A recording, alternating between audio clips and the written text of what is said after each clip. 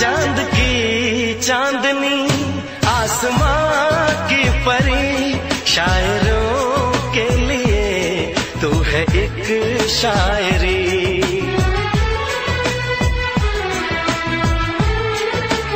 हाँ, तुझे, दिल दीवाना हुआ